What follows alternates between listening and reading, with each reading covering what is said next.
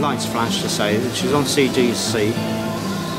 That's then calibrated the CJC button. Then she press the button again to calibrate the zero part.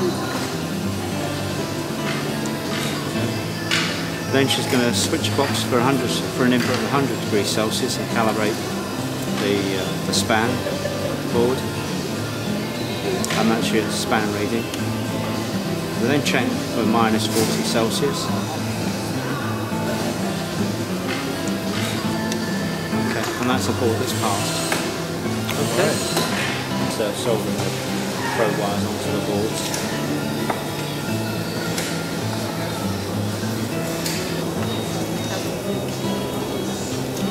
Okay, well, that pad's used to uh, adhere the uh, silica gel sachet inside the uh, case.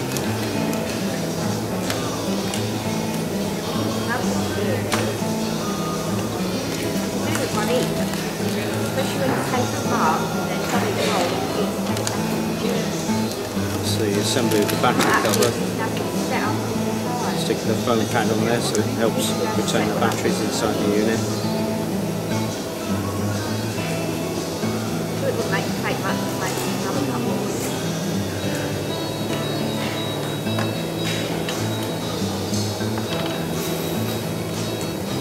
Okay.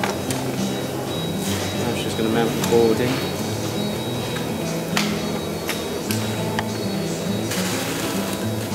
Serial number on the back of the board.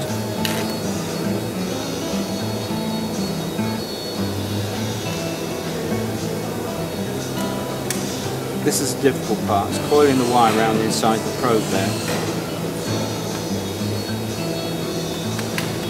The use of rubber stop goes, doing for a second. Rubber stop goes in that area there so that when the, you're getting this on there, so when the probe wire goes through there, the rubber stop will maintain a, a moisture moisture barrier. It seals seals that wire down, and obviously will stop any moisture coming through to the internal of the um, of the instrument.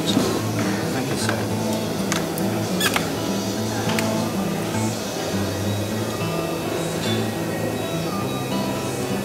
This is the fiddly bit of the assembly.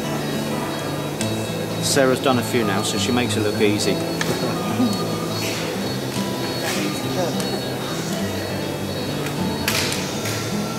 Having said that.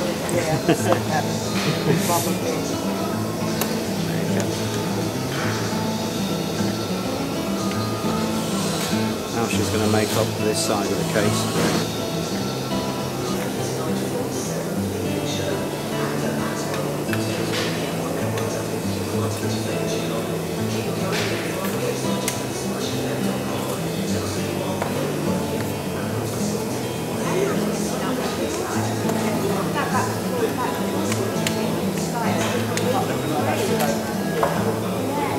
The battery contacts going in.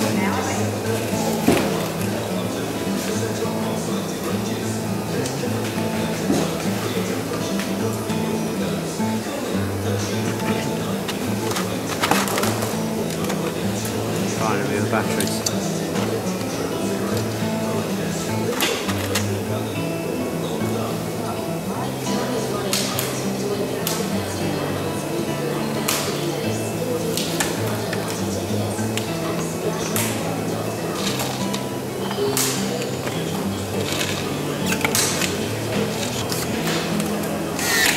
Use an electric screwdriver to case down, which has been set to a torque force of 0.58 newtons into a bag to seal seal the instrument to maintain the moisture moisture barrier. Okay.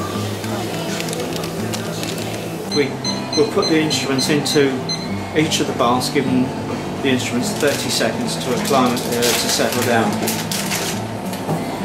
First of all, she lays them out on the bench to do the CJC, the first step, which is the CJC calibration. There's a little button in the back.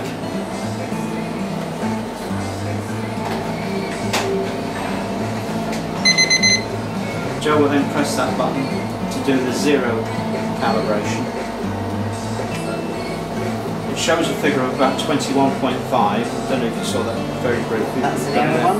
That's an error one. It's a good that you've seen an error one. We'll go through that one. You may have a fault with uh, that one. Do you want to press that button again just a minute? Just so you can see that going. You see the 21.5 account, Yeah. and then it will come up with an error. Error.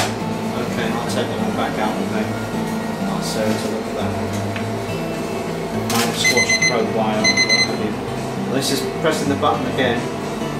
Get Cal, and then it should come up with 100.0. Which it does. Joe will then fold the probe in to turn the instrument off, then turn the instrument back on to make sure that the calibration data has been saved in the microprocessor and we'll return it to the zero bath then to check for a temperature of zero degrees Celsius.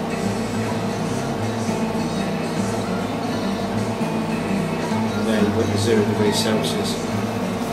For yourself then, she will then flick the switch to position one